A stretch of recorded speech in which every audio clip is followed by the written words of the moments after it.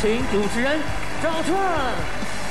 欢迎电视机前的观众朋友走进天津卫视的大型情感节目《爱情保卫战》，来看看今天我们请到的几位情感导师是谁？阳春科技创始人张春伟张老师，欢迎；情感导师严品红严老师，欢迎；情感导师莎娜老师，欢迎；情感导师陆琪老师，欢迎。了解一下今天第一队的基本情况，请看。结婚前他对我百般照顾，结婚后什么都变了。我觉得他真的想太多了，总是翻来覆去的因为一些小事和我吵。我现在工作很忙，压力也很大，我希望他能多理解我。我很珍惜我们这段感情，但各种矛盾层出不穷，他一再回避不肯解释，我不知道到底该不该离婚。这是个难题，离婚。还是不离，来，掌声请出这对夫妻。姚先生，二十五岁，来自河北，私营业主；吴女士，二十六岁，来自河北咨询室。有请吴女士，有请。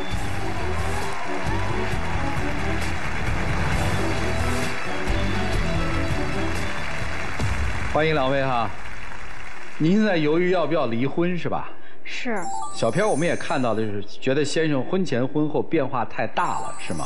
变化不是一般的大，确实很大。哦，哪有那么多变化呀？你想离婚吗？我好像没想好。看来对这个婚姻也有诸多的不满，是吧？差不多吧。差不多。行，我们听听妻子怎么说吧。她变化在哪儿了？在你看来？结婚之前吧，他就是对我挺好的。我们单位离我家开车来回需要三个多小时。嗯。每次上下班，甭管是刮风啊还是，下雨也好，都会开车去接送我去。然后还有，因为他有我淘宝账号。他就经常就说看我喜欢什么东西，刚好是五二零过节日嘛，他直接就送了我一款花墙。后来我问他，他说你不是你喜欢吗？后来结婚之后吧，我就感觉他把我追到手了，就特别特别不珍惜。嗯。一周大概是有三回到四回，凌晨才回来。我这个人睡眠质量不是特别好，我跟他说，你都回来那么晚了，你就拿一把钥匙吧，别每次都让我去给你开门。他倒好，每次一喝酒回来，杠杠杠在敲门，声音特别大。后来有一回，我又想治他的毛病嘛，就故意不给他开门。他倒好，就拿那个头直接把我们家防盗门的门把手给撞掉了。后来我问他，他说，啊，谁让你不给我开门的？我哪有那么厉害啊？我用头撞的铁，我头比铁还厉害呢。撞没撞门嘛？当时反正也记不太清怎么回事，可能就是开门之后关门的时候力气大了点可能就那门撞墙上了，估计是。我不想着别的，就是想每天晚上回来了，也没人给说个话，回来也看不见个人，我不就想让你给我开个门吗？一次两次也就算了，你每次你都不拿钥匙，你知道我睡眠不是很好，为什么每次还要让我去给你开门啊？你你先生说的核心是说，下班回来之后，我希望有个人陪我聊天儿。但是如果说一次两次也就算了，我陪陪你，那我不能每次都等到你凌晨三四点吧，就为了陪你说会儿话。哪有每次凌晨三四点啊？顶多也就十二点多点先生是希望妻子有陪伴，妻子说因为你回来的太晚，我还有工作陪伴不了，是吧？这是第一个变化。第二个变化呢？结婚之前对我闺蜜特别友好，结婚之后就经常当着我闺蜜面就是骂人家，骂特别难听，让我别跟她一起玩，或者让我闺蜜直接就别来骚扰我了。因为她那个闺蜜经常没事啊，好去酒吧玩。我不想女孩子没事老去那种地方玩什么呀？不学好。那年轻人去酒吧也正常啊。那怎么酒吧是为老年人开放的呀？那也不能经常去。是经常去吗？也不是经常去，无非就是周末的时候或者周五晚上，就因为不上班了嘛。哎，为什么结婚之前可以去，结婚之后就不能去了呢？结婚之前我也说了点，但是不敢特别使劲说。哦，那会儿还在追求，这是对闺蜜有变化，对吧？对，就因为我闺蜜这个事儿，后来有一次就是她接我下班回家路上嘛，我们俩就因为我闺蜜吵起来，吵得挺严重，我们就直接在那个红绿灯底下直接就撞车了。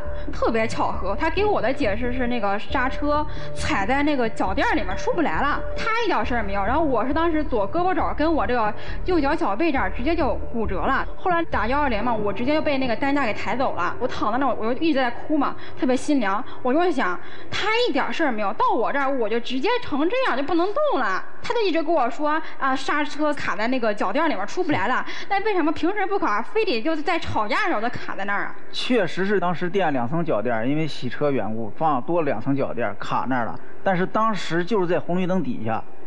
离前面车就不到十米，哪有时间思考，哪有时间反应啊？你这小心思太多了。网上都报道过说，如果说你爱我情况下，你会在下意识保护我，结果你都没有保护我。不是你的意思是说，如果他爱你的话，他会打方向盘是吧？对，他会向他方向打方向盘，而不是说我出事儿。哦当时我根本就没有时间思考，只能往车少的地方，就临时有那么一个想法，就往那儿打。他都有时间去思考哪边车多车少，就没有时间来保护我。看到了那边车多，我理解了。女生是看了很多分析说，如果一个人爱你的话，当出车祸的时候，他一定是把自己摔到了车的那一边，把你腾出来，是吧？是。这你想多了，这本能的问题真不好说。这个我觉得对此存疑，到底代不代表爱，我存疑。女生现在是两层，第一层是为什么那么巧就撞了，所以你怀疑是他故意的，对吧？我就怀疑他故意的，他给我的理由也特别牵强。那刹车垫为什么就非非在吵架的时候卡进去？平时开车为什么不卡呀？我的天哪，这女生对这个男生已经这么深的芥蒂哈。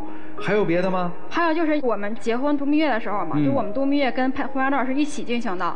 我们当时去那个三亚嘛，去三亚之前我还特地做攻略了。我跟大家说，咱俩订个那个餐厅吧哈，那餐厅就是位置比较少，挺难订的，因为里面有晚会，后乐队唱歌挺好的。他说行，那咱订吧。后当时我特地把那餐厅给定下来了，定下来完之后，我还再特地就给人家那个老板说啊，这是我跟我男朋友就过来度蜜月来的哈，想要精心布置一下。当时我还给人家交个定金。后来我们俩下飞机的时候，我跟他说咱俩去吧，他直接给我来一句我累了，我困了，咱不去了吧。当时我的火特别大，咱提前说不好吗？为什么非得现在你给我摆脸色啊？为什么不想去啊？主要确实那段时间也很忙，有很多事儿，然后急着忙慌，就跟赶场一样往那儿去了。确实下飞机的时候确实有点困，睁不开眼。我说要不就睡一会儿再去吃饭。那谁家饭店还为你一个人二十四小时营业呀？那个饭店到十点就已经闭餐了，餐厅布置那钱都白交了，你知道吗？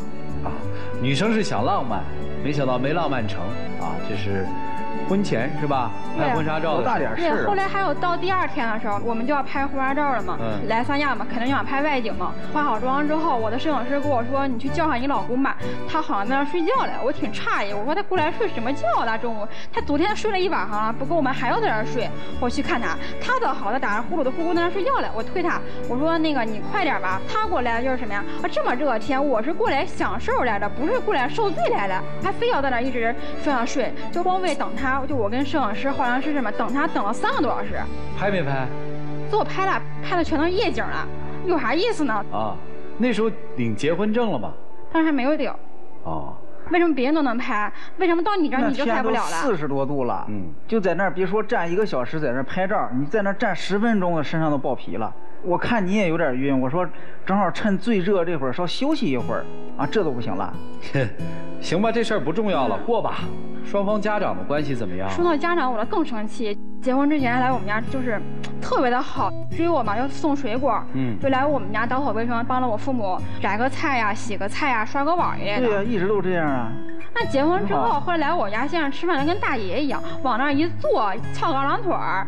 然后我父母在那儿做饭呢，他就在那儿什么也不管也不问，玩手机在打游戏。叫你过来吃饭，你也不来；去拿个碗盛个饭，他也不去。后来有一次在我们家吃饭，他可能没有吃饱，我妈妈就问他：“你是不是没有吃饱？再给你盛一碗吧。”他好像就特别理所应当，给，就就就把碗直接给我妈了。他自己没有长手，我跟你讲吧，为什么我我妈就那么给你客套一下？面前不就想让你给盛碗饭吗？啊，每天就是没个好脸儿，每天就那啥，给你个台阶，就想说让你给盛个饭，在一块看着好像挺和睦就完事儿了。当时是我是坐在你的里面，他还想让我去给他盛饭，每次他都是这样。你们这个婚后的日子过得还真是挺狼狈的，多大的事儿啊，都可以化解，为什么要扩大它呢？行，吃饭也成了问题了，跟你父母之间有矛盾吗？有矛盾，因为结婚之前我父母对他印象还挺好的，结婚之后就因为各种小事儿就对他就是印象也没有就是那么好了。什么事儿啊？我父亲因为肾结石住院了。他倒好，人也不漏，电话也不打，我就特别生气。哎，这那会儿不出差嘛，正好赶上我出差那段时间，出去两个多礼拜。啊，那你出差你应该打个电话呀，电话也不打。咋不给你打电话了？我当时给你打电话，你不是说马上进手术室了？然后呢，医生说基本没什么事儿。肾结石，我爸之前也得过，就用那个碎石机碎一下就好了，哪有那么大的事儿？那老人不用住。那老人每个人跟身体情况都不一样的，毕竟上了岁数了。这这后来你没给打个电话问候打电，我给他打电话了，我不能总不是给老丈人打电话了吗？他在医院时候，我不能给病人打电话，也不知道什么时候输液，什么时候休息是吧？我给他打电话了，我也问了，我也没说不打电话。他打电话一共打了三分多钟，你不给我爸打，你给我打干嘛？我又不是病号。我给病号打，病号在输液干啥了？我哪知道啊？那输液也不应该是两个手输液呀。那也不能给病号打呀，哪有那么干的呀？嗨，这就是借口嘛。我想做的事儿怎么都可以做嘛，这个就别强调了，小伙子。这基本做的礼貌性都差一点。是你长辈吗？给他打电话。是你长辈吗？是。那你别管大病小病，至少应该问候一下病人吧。你不出差两个多礼拜吗？嗯。期间有没有打过电话呀？我就给他打过电话，就打过一个，正好做手术就打过一个电话啊，做好了没事了就。当时那会儿正好是我家亲戚也来看望我爸爸了，我们家亲戚还问我是不是跟他离婚了，因为就是有段时间。没有见过他了嘛？因为也有我微信嘛，看我经常也不怎么发微信，也不像搞对象之前老恩恩爱爱了哈，就问我嘛。我当时心里特别委屈，然后我就说什么？我说没有，他刚刚走没有多长时间，他工作挺忙的，我只能骗我自己。其实根本就没有来，我还对我父母就就是一直目无尊长。人家不是出差了吗？他出差回来也没有来过。后来我打电话问他，也不知道他在干嘛。他说我在忙，我在忙，我也不知道他永远他他在忙什么。你光说我了。就之前他在我父母家了，然后他在楼上坐那个沙发也感觉不是很舒服，那正好我爸也说想换换来，我就从网上我直接就说定下来，差不多也就一万来块钱，不贵。当时他又拦着不让我弄，为啥呀？弄给谁弄难看了呀？我父亲他住院，我母亲身体也不好，当时我说给家里面拿个钱吧，他倒好说什么医院有医保啊，不能拿钱。既然去医院了，你为什么不走医保啊？那你父亲就想买个沙发，你不知道孰轻孰重吗？买个沙发都该掏钱。那我父亲住院，我买个慰问品什么的，你也不让，你这钱就不该掏吗？那不是看着你说你说坐的不舒服吗？然后正好换了，我直接从网上就订了换了吧？你差那一万块钱吗？这不是钱不钱的问题，这钱我也能掏，是不是？是不是就就因为这钱我要掏了，你是不是就回来住了？现在就因为这个问题，买这个他家沙发这个问题，他就现在是在单位住着，就也不跟我见面了，就是我们俩就属于分居了就。我叫他回来，我们俩谈谈这事儿吧哈，他也不回来，面也不跟我见。恋爱谈了多久啊？恋爱谈了一年半。结婚到现在多久啊？两年多。当时结婚的时候有打算要孩子吗？没有。嗯啊，幸好没打算。后悔嫁给他吗？有时候也后悔，婚后我也犹豫过，但是犹豫归犹豫，我有时候就心里也挺纠结的嘛。就因为毕竟都过了这么长时间了，我的朋友就是也劝我哈，都是劝和不劝离嘛。后悔娶她吗？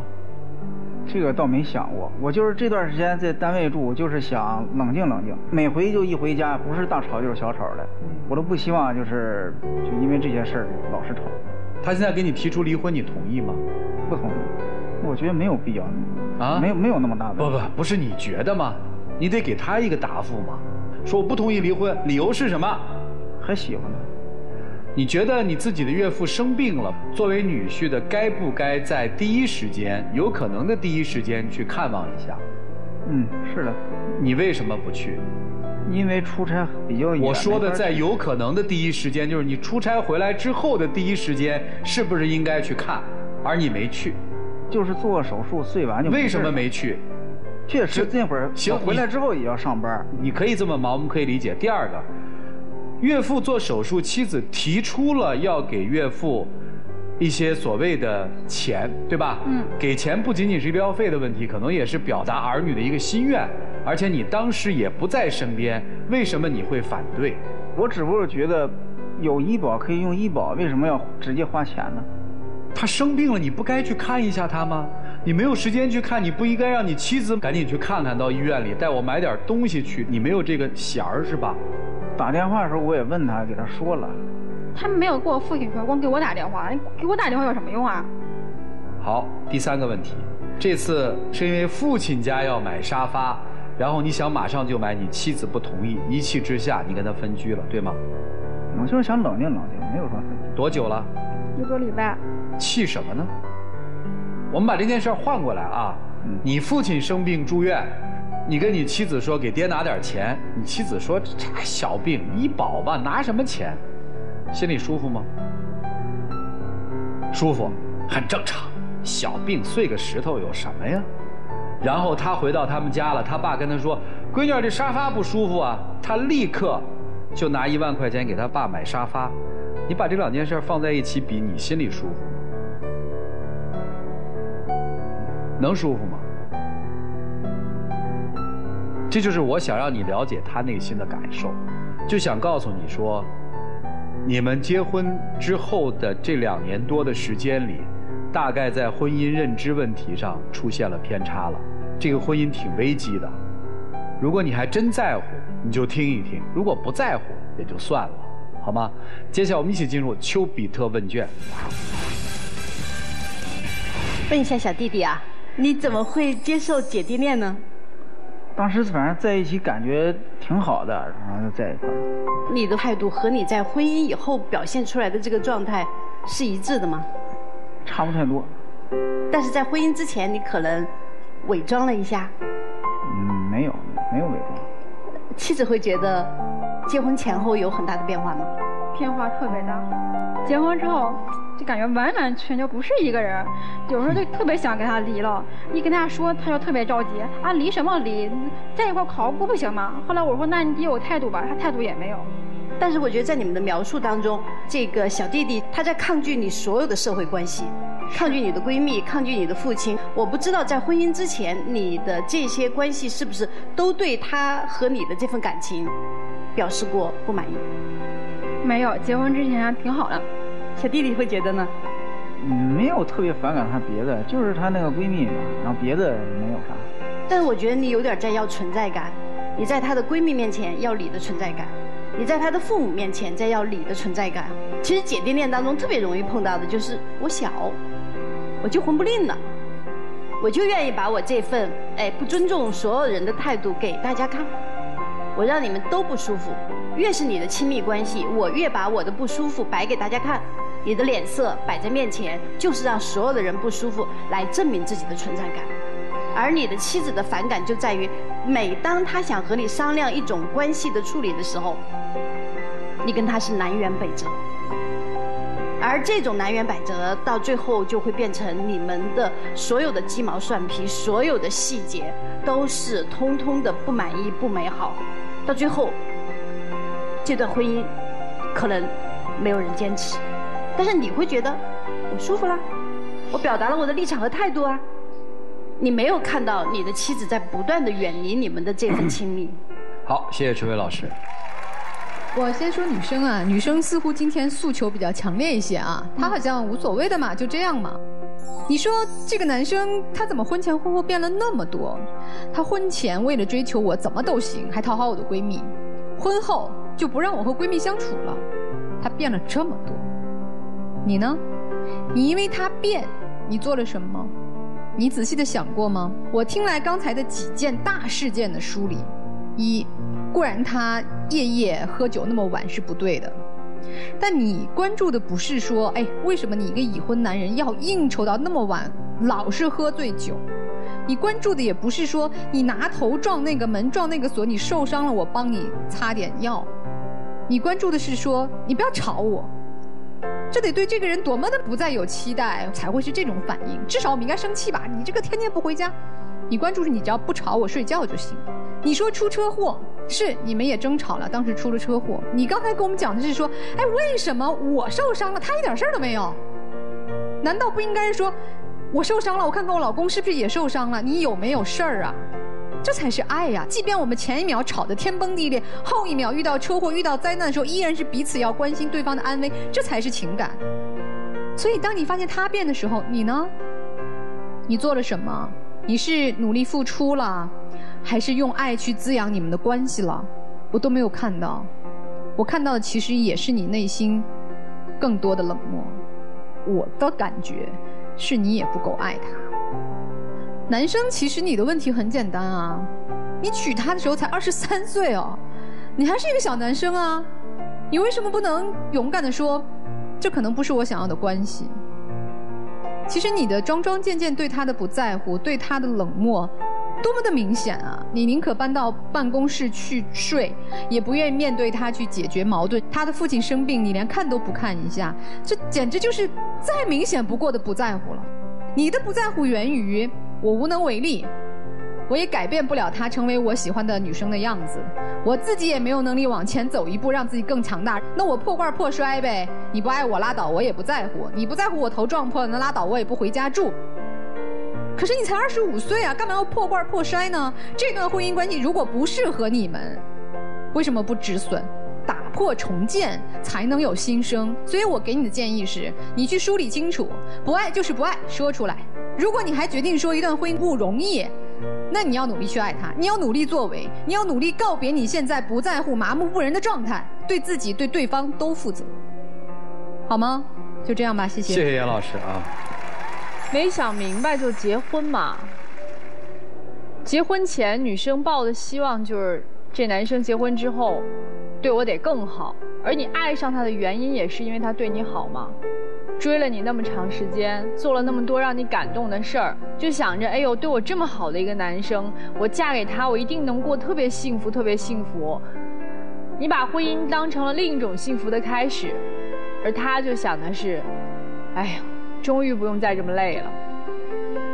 他把婚姻当成结束那种讨好你、每天宠着你、惯着你这样日子的一个结束。所以两个人对婚姻的期待都不同啊，而且我觉得男生一上来让我觉得很可怕的一点是，他有一种特别不屑和无所谓的表情。你们把结婚这件事想得太草率了。我觉得结婚有一个很重要的前提的标准就是，我们两个人是有共同话题的，而不是每天除了我爱你、我想你就毫无其他的话可说。现在很多的情侣都是这样。每天两个人在一起，大眼瞪小眼，各玩各的手机，说的最多的就是“哎呀，我爱你，我想你”。可是坐在一起毫无交流，然后就进入婚姻。进入婚姻之后，婚姻更是一潭死水。在面对生活当中种种的琐碎，这日子根本没办法过下去。所以你们两个人就想一个问题：现在把你们手机都没收，就让你们两个人静静的坐在沙发上，你们两个人聊什么？就是有时候如果除了争吵，已经想不起来任何可以值得你们去回忆或者共同探讨的话题，那我觉得及时止损是可以考虑的。谢谢。人没选对，就什么都不对。所以呢，我来讲讲关于选择是什么，结婚怎么选和离婚怎么选。现在很多年轻人啊，总觉得我谈恋爱了。然后我要结婚了，是顺理成章的，其实不是的。从你谈恋爱到结婚中间有三次选择的机会。第一，这个人吸不吸引我，决定了我要不要选他谈恋爱。第二次叫亲密关系，我跟这个人能不能过日子，这时候选择我要不要和他在一块过。第三次叫我能不能跟他长久的过下去。这时候才选，我要不要结婚？结果你是怎么样呢？我既然谈了恋爱，中间反正我被恋爱冲昏头脑，我一步一步我都不选了，直接结婚。婚前怎么选？很简单，选男人啊，不是选他对你有多好，多好都能装，最重要的是选素养。一个男人素养好不好？这一点非常重要，因为这一点决定未来对你的家庭怎么样。一样的，选女人选什么？选好看吗？选情绪，选一个女人情绪的管理能力。这个女人的情绪，她能不能自己舒缓？和你之间能不能把两个人的情绪给管理好？如果不行，你们两个人一碰到一块儿就点火，选不到一块儿。那么，已经结婚了怎么办呢？这个时候我们就要来看了。离婚也不是瞎离的，离婚也有三次选择，哪三次选择？首先，你们遇到问题，觉得哎呀，你这个事儿做不对，你那个事儿做不对，这个时候我们带来的叫什么叫不满？这个时候选择什么？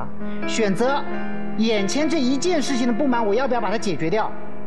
你们两个人都没有把它解决掉，你们每个人心里面都有一个情绪的雪球，越滚越大。第二次选择就会叫什么？叫不爱。不爱是什么？当这个情绪的雪球滚那么大了，我们发现问题了。这个时候我要不要把这个雪球给拆掉？还是没有。这个时候就进入第三次选择了，就是过不下去了，要离婚了。这个时候怎么选啊？我们之间还有没有信任？你们的信任危机已经开始了。他刚才都在怀疑你开车故意伤害他。你不要把这个事情当成一个女人发发脾气的小事，这就说明你们的信任在崩塌了。这个时候就真的是到了该离婚的时候了。但是你们信任没有完全崩塌，所以你们现在唯一要考虑的根本不是爱不爱的问题，还是我要不要再信任对方一次。待会儿真情六十秒的时候，你们要聊聊这个事情。就这样，谢谢。婚姻生活实际是情感生活的开端，但是很多人一结婚之后，这个情感就割断了。你们俩特别典型，你们结了婚之后，没有人维护情感了，我们听到的更多的是指责。我特别希望你们能够坦诚地面对一个问题：你现在基本了解到了这个男人了，还能跟这么一个男人一点都不改的再过三十年吗？这个女人也就这样了。还有愿望跟他过三十年吗？你们静下来想想吧，一起进入真情六十秒。其实我感觉，咱们俩在一块儿还是，甭管再怎么着，内心还是珍惜对方的。我觉得你说了这些种种小问题，其实我们还是缺乏沟通。正好上这次节目，也都冷静冷静。有这个机会能把心里话说出来，我觉得事情还是都在往好的方向发展。如果你说的话能做到，我会考虑就咱俩继续还在一起。如果你以后生活还是这样，我真的感觉咱俩没必要在一起了就。好，现在你们的心情就是纠结嘛，又想离又不想离嘛，你自己到门背后想一个占比。百分之六十是要离婚的，你就别出来了。为什么别出来了呢？就是给对方一个提醒，因为毕竟是一个节目，结婚离婚这个事儿太大了，下去还得再仔细的交流，在这儿只是有一个更清晰的表态。谢谢两位，请回吧，谢谢你们。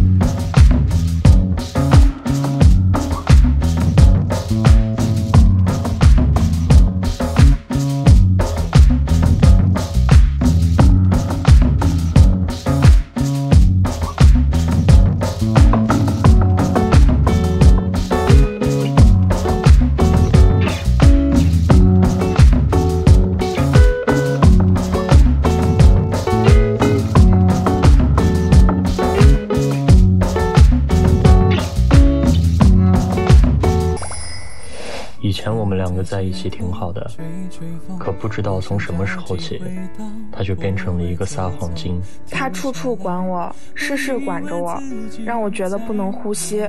为了避免吵架，我才总是和他说谎。很多事情我都是为了他好，可他不但不领情，现在还要和我保持距离。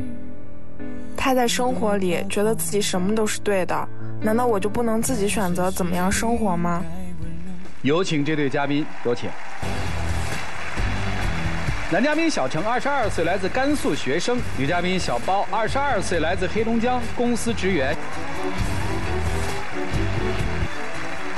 欢迎两位啊！哎，跟一个高个女生谈恋爱什么感觉？有时候挺难受，有时候挺高兴，一点。你什么时候难受？什么时候高兴呢？就比如说出去玩的时候。拍照啊啥的，你不用担心别人会挡到他的镜头，你总能拍到他的脸。啊。不高兴的地方就是说他比我高，就比如说现在他就比我高，他比你高哈。对，我看那个小片有一个体会，就是男生是带着疑问来的，就是他为什么骗你？是啊，女生大概也有一个想法是吧？对我没有觉得我在骗他，我觉得是他有问题。对对对，为什么双方会有这么大的这个差距呢？你看资料上面说你是甘肃的是吧？对对对。现在你在哪儿读书啊？我现在在西安读书。你是黑龙江人，公司职员是在西安工作吗？对，然后我们两个都是在西安。上大学，你是学姐喽？我不是，我俩同级的。他读研了，然后我选择工作了。哦，大学谈了几年啊？谈了两年。你怎么会觉得这姑娘骗你？我们俩一开始都挺好的，因为她性格也比较好啊，然后平常对人也比较温柔，还长得还蛮好看吧。但是后来我就发现她在各个方面都能骗我，我觉得这个我就忍受不了。但是我真的没有觉得我在骗他。你意识不到，所以才可怕呀。他经常出去做一些兼职。然后每次跟我说赚钱可能赚个一两百块钱，哎，结果有一次我俩一块上课，书里面掉出来一小票，小票上写着消费了几千块钱的美容卡。可是我当时跟你解释了呀。你跟我咋解释的？你跟我说那是你闺蜜买的，那是你闺蜜买的吗？最后我承认了呀，那个小票是我的呀，是我消费在我反复追问你的情况下，你才告诉我那张票是你自己买的，不是你闺蜜的，对吗？不是我自己兼职赚的钱，我自己分配，我自己买一张美容卡，怎么了呀？这怎么就成骗你了呀？你没有告诉我啊，这就是在骗人啊！你还好意思说？哎，我为什么不告诉你啊？我跟你说，主持人他这个人啊，他特别虚荣。我刚开始跟他在一起的时候，我赚了多少钱，我都老老实实的跟他说，我觉得这没啥嘛。他可好，他只要一知道我兼职，哎，赚了点钱，就带我去商场，让我买那些牌子的，他认为好看的衣服。有一次嘛，他就带我去商场买衣服，非要让我买一件短袖，三千多块钱。我觉得都是学生，没有必要呀。他就说我穿的几十块钱的衣服都是垃圾，丑死了。哎，当时你买那件衣服的时候，我觉得挺好看的吧？店员也觉得挺好看的吧？其次，你说去美容院那个，你用得着美容吗？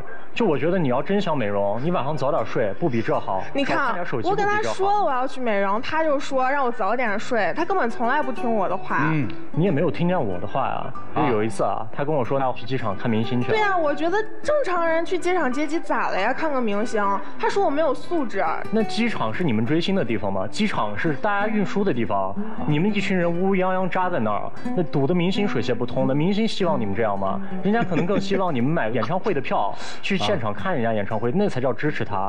你堵在那儿，那就是没素质啊！你看，在他眼里，阶级就是没素质。我必须花了钱，哎，我买了票，我把这钱花出去，我就是有素质了。你打车过去是不是也要钱？演唱会不比那高多少？你又不是没有钱。你看他就是这样，他总觉得我有钱就一定要花，他虚荣心特别强。我每次跟他出去约会嘛，他都必须要求我化妆，然后穿裙子、穿高跟鞋，就让我打扮的漂漂亮亮的。不是挺好吗？不好，在学校嘛，那随便出去买个东西吃个饭，我嫌舒服嘛，我穿个 T 恤，穿个短裤，可能穿个拖鞋我就出去了，他就转身就走，他说他嫌我邋遢。不只是这样吧，第一次的时候我不会转身就走啊，你那是很多次了，咱俩出去玩你也穿着那样，那你以后到了社会上你也天天穿着那样，你觉得对别人尊重吗？行，啊，男生对女生管的是不是还挺严？他管的特别严啊。我跟他在一起之后，嗯，我跟所有人聊天记录就是异性了，他都要从头看到尾，他看不顺眼的全让我删了。我有一次有一个活动联系人，他看了聊天记录就说这个人图谋不轨，必须让我删了。他这个活动负责人，我就觉得看头像就不是什么正经人。但是你看了我们两个聊天记录，你从头看到尾，除了工作上的事儿，我俩没有别的呀。是啊，你给我看的时候是已经咱俩那事儿已经吵了一两天了，你才给我看的是吗？那你为啥不当场给我看？当场给我看也没那么多事儿。不是他的生活为什么要给你看呢？不是啊，那个人他去兼职是他自己的自由权利啊。我觉得谈恋爱的话，两个人生活是要互相分享的呀。我我分享给你了，我有一个这个中间人，你告诉我你觉得这个人不是特别靠谱，OK，我知道了。至于怎么做是我自己的权利啊，当然是你自己的权利。对呀，是我会。那你凭什么删啊？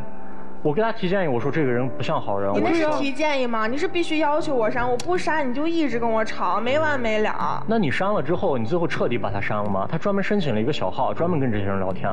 那你说我看到这个小号之后，我怎么想啊？那我申请小号，我没有办法了呀。那我要接那个工作，我跟人家签了呀。我说长期合作呀。那删我让你删人，他不是最终的目的啊。最终目的是不要让你和这些人联系。不是你有什么权利不让人跟这些人联系啊？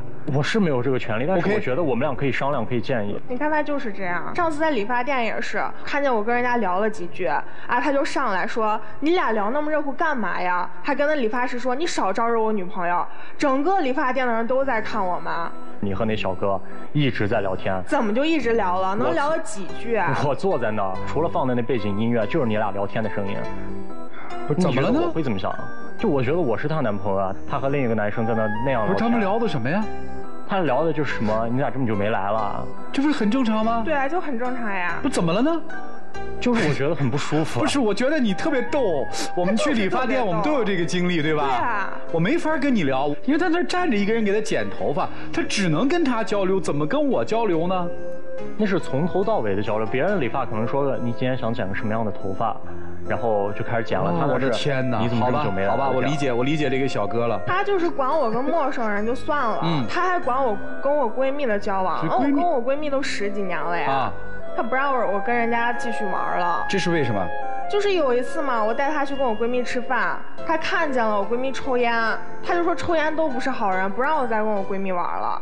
我觉得抽烟不一定他是个坏人，但是我不是很喜欢抽烟的人，我不希望你变成那样。不是你不喜欢抽烟的人，你为什么要限制我身边有没有抽烟的呀？不是，哎，你那个闺蜜，你偷偷背着我出去，和人家聊一下午天也不接电话。我跟我闺蜜下午出去玩，我跟你说了呀，你干嘛要一下午一直给我打电话呀？同样，我们都明白一个道理：近朱者赤，近墨者黑。你也明白吧？大家都听过吧？不是谁是朱谁是墨，不是谁来界定谁是朱，谁来决定谁是墨。就我觉得这个不是分一个好坏的事儿，这个就是我不希望你变成那样。还有我舍友那次更过分，你知道他有多粘人吗？平时我在那个学校嘛，我去洗澡，他每一次要在我宿舍楼下等着我，洗完澡之后再把我送到宿舍楼下，看着我上楼。我有一次呢，就跟他说，我今天跟我舍友一起去了，我不跟你一起去了。他就急了，就气冲冲地冲到我宿舍楼下，当着我和我舍友的面就说：“你要那么喜欢跟你舍友在一起，你跟我谈恋爱干嘛呀？”我觉得他不可理喻。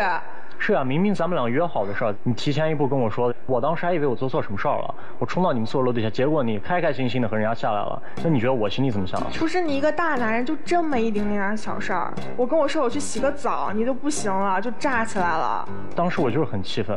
明明咱俩说好的事儿，然后你这样临时变更，他真的，你看他一直喋喋不休，喋喋不休的。兄弟，我觉得是不是是不是在你的这个生活规范里，你觉得你都是对，他都是错的，是吗？当然不是说对的错的啊。我在我希我希望我们俩能走得更远，所以我觉得更加贴合，我们俩互相。那是谁贴合谁呢？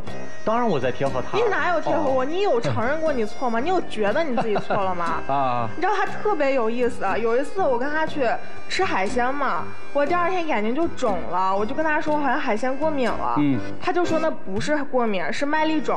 然后他就拿出手机在那跟我百度，说你看你这就不是过敏，就是麦粒肿，嗯。然后呢，非得逼我跟他说对不起，我就想有必要吗？为什么非得让我说对不起啊？我不说就不行。从吃饭开始一直磨叽到我回宿舍，我回了宿舍之后上了楼，我就喘了一口大气，我耳朵都快出茧子了，被他叨叨的。结果证明你是不是麦粒肿？我是麦粒肿，但是你有必要吗？首先你要尊重自己的身体，对吧？如果那是过敏的话，我陪你一起去医院，我们做一个过敏源的检查。以后这些过敏源检查至于吗？至于吗？那你连自己的身体都不爱惜，你能爱惜到别人吗？我真的是服了。我跟他在一起，我有一次约会，我下来可能就晚了那么三四分钟，他可不得了了，一直在教育我说我没有素质，没有教养，说我这样的人出了社会什么都做不了。你磨叽得有多长时间？半个小时得有了吧？他还把那手机备忘录打开，上面清清楚楚的记录着我从跟他在一起到现在哪一次迟到，什么时候迟到，迟到了几分钟。这个备忘录我们也有，给我们分享了，你们看一下啊。就这个备忘录，你自己看看。请你自己看看，这个备忘录我开始记的时候，已经我俩在一块儿差不多有一段时间了。他之前就经常迟到，然后我为了让他记住，他每次迟到之后，我都问他，你上次是不是保证过不再迟到？然后他都说没有呀，没有保证过呀。那我这样，我说我记下来，我记下来以后，每一次如果你再反悔，我拉出来给你看。我就希望你下一次不要再迟到了，你自己看看，从三月份开始到四月份，你迟到了多少次？我们俩每出来一次，你就必须要迟到，你就不能早来吗？我感觉我跟你谈恋爱就没有在谈恋爱，你一点都不像我男朋友。那我觉得人就像我老师、班主任一样，什么时候都在教育我。那次咱俩在补课班上课的时候也是，我就小声问了你一句话，我说几点了？咱们还有多长时间下课？你呢？那么大声训斥我说你不学习，还有别人要学习，能不能不要打扰别人啊？哎，我是你女朋友吗？你把我当你女朋友吗？大家报那个补课班都是去那儿学习的。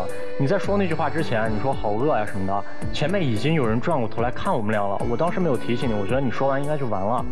然后你还一直喋喋不休的在那说，你弄得我干不尴尬呀？而且说起这个补课班，我俩上的是为了考研，结果你呢？第一轮考试下来啊，咱俩都过了吧？第二轮我录取通知书都到了，你的录取通知书呢？你我面试没有去啊？我跟你说了呀。是啊，你是什么时候给我说的？你一开始给我。哎，姑娘，你为什么面试不去？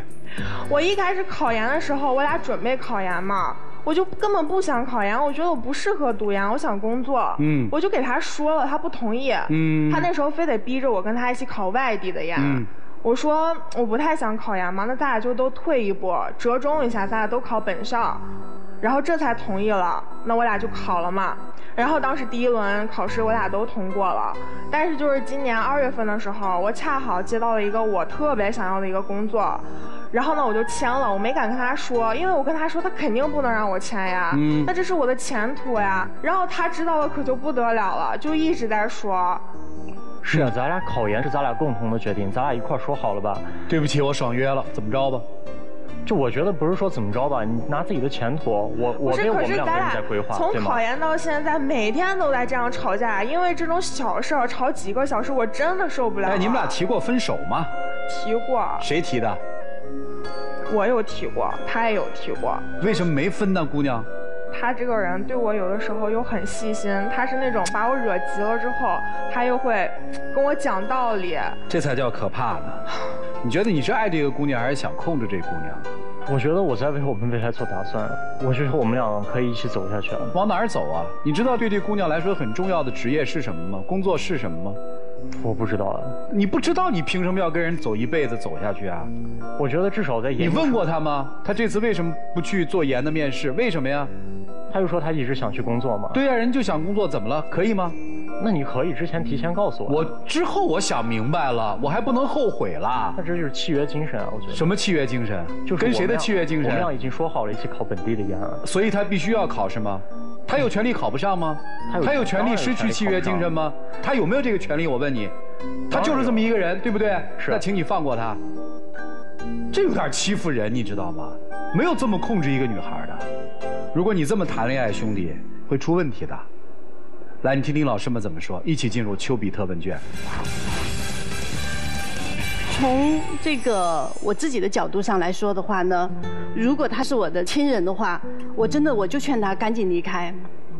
你配不上他的美好，因为你不体谅他。你为了你的那个内心的那个小火苗，你为了你的面子，你要求他的所有的那个指责的那些点，都是你在意的。你们的身高不是差距，你们的这个学校内外也不是差距，最大的差距是，你没有意识到，你要求他的是你在要求，在这一份感情当中，你是不断的制约他。他为什么打扮的漂漂亮亮给别人看？是因为你需要，但是为什么有一些分寸你又觉得你受不了？是因为你发现更多的人看到了，你不愿意接受，所以你不断的去纠正他，不断的去强调他，用更高的标准和更高的道德去说你没有做好，你做好了吗？为什么你去要求他？你不断的用那些暗示去强调你们之间的这种不对等。所以我说的是，你配不上这份美好，所以我不建议你们此刻以这样的一种方式去界定自己的亲密关系，因为没长大，真的没长大。谢谢张老师，来严老师。我觉得真还谈不上爱哦。我觉得男生其实是打着爱的旗号，想要控制一个本来自己是控制不了的人。我不觉得你爱他，我只觉得你想控制他、占有他，来成就你所谓的女生用了一个标签给你嘛，虚荣心。旁边站着一个高高漂亮的女生，哎，我有面子呀。她穿着很贵的 T 恤，哎，我有面子呀。但这个面子不是爱情，你就是想让她成为听你话的一个小女生，这不是爱啊。我认为你应该去好好调整。而女生，我觉得可能女人都容易这样，就是对方只要给了我们一点点温暖，哎，我就舍不得放手。我知道他这儿不好，那儿不对，他超越了我们相处的很多底线。你自己心里其实是知道的，你也很痛苦，但你就抓着那一点点温暖，一点点温柔不放。哎呀，他挺贴心的呀，他跟我很紧密呀。你其实很清醒的知道他的种种不妥不对。就请你放过自己哦，不要再眷恋那一点点温暖了。我希望你能够走出自己内心狭小的对他的眷恋，去迎接更加美丽的对你来说新的世界，好吗？希望你们都放下心中的执念啊，开始新的人生吧。谢谢。男生一直在谈一个问题，就是说女生没有素质、没有涵养、没有教养。那我真的想跟你掰扯一下，什么叫素质，什么叫涵养，什么叫教养。我觉得这三点，他们有一个基本的、共同的一点，就是要尊重别人，不要道德绑架。你完全不尊重他，不能完全按照你的意志为转移来听你指挥吧。然后女生。你知道有很多女性，她们走不出这种困境的最大原因是什么吗？就是当她们受伤之后，这个男性他会立刻再给一颗甜枣，就是打一棒子给一个甜枣，打一棒子给一个甜枣。它的好不是良药，它不能掩盖住你心中的伤口。所以我觉得，当你确定了你不要什么东西的时候，就一定不要再为这个不要的东西而找理由或借口去开脱。我不贪恋那一颗甜枣，你也别给我那一棒子。所以，未来怎么走，完全看你，放过自己。好，谢谢。啊，男生，我相信你是爱他的，但你输给了你内心的狭隘。姑娘也是。那么好看、那么漂亮一个姑娘，你是那么的缺爱，你是那么的卑微。你们没有吵架，你们从来没有吵过架，这是反抗，这不是吵架，因为他一直在蛮不讲理的剥夺的你的是什么东西？是你天然的权利，你剥夺他自由权，你剥夺他追求幸福的权利。这个时候，姑娘说：“为什么我不分手？因为我觉得他对我好，一手大棒，一手胡萝卜，你懂吗？”你说我看到他有那一手胡萝卜，所以他对我好，那你忘了他那一手大棒吗？我觉得你们现在反而应该异地一下。我不是说立刻分手或怎么样，因为我觉得这个姑娘分不了手，所以我给你们一个缓解性的建议，就是你们最好异地一下，让这个男生试一下，看看能否在这种狭隘的爱情中能不能脱离出来。姑娘，你试一下，你能不能不要再把一段爱情当成救命稻草了？不管你们的人生之中，你们的原生家庭给你们造成什么样的伤害，或者你们的人生中的经历造成什么样的伤害，记住，爱人不是来给你们当牺牲品的。就这样，谢谢。不管是男生还是女生，在恋爱当中有一些基本原则和底线全面被突破。财务，这是底线，没有权利去管。手机，它允许你看。其实你都不该看，那是他的私人空间。择友，即使是夫妻，夫妻之间都有择友的权利。你所有的原则性的东西，你全部违背，最后你说他是错的，我真听不下去。这不是一个健康的恋爱关系。你能放手吗？可以，真的可以吗？可以。怎么这么干脆啊？你让我都有点害怕了。为什么呀？因为我觉得老师们讲的都很对。听了建议之后，我觉得确实我也需要一段时间去调整我的状态。啊，真的可以哈啊，可以。既然有这表态，挺好的。那接下来的时间留给你们了，一起进入真情六十秒。今天咱们两个来到这个节目，我不知道你有没有意识到自己真的有问题。你不是永远都是对的，你也有错的时候。我希望你能意识到这个问题。我今天听老师们说了这么多，我也知道了大概，可能我没有发觉，潜移默化中对你造成了伤害。很多地方我做的确实是不太对。我觉得我们俩都借着这个机会啊，彼此冷静认真的去重新考虑一下这段关系，可能对我们彼此来说是最好的选择。好，那我也要好好考虑一下。谢谢老妹，请回吧。好，谢谢您。谢谢谢谢谢谢。你开门。